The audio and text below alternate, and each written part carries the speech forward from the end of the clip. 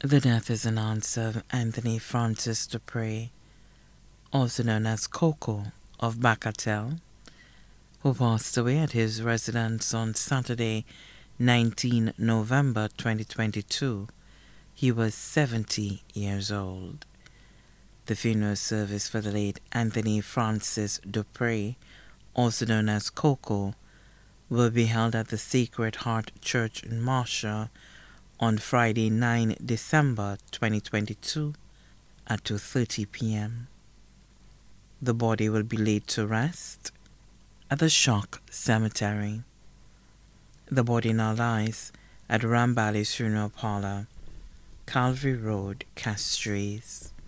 May his soul rest in peace.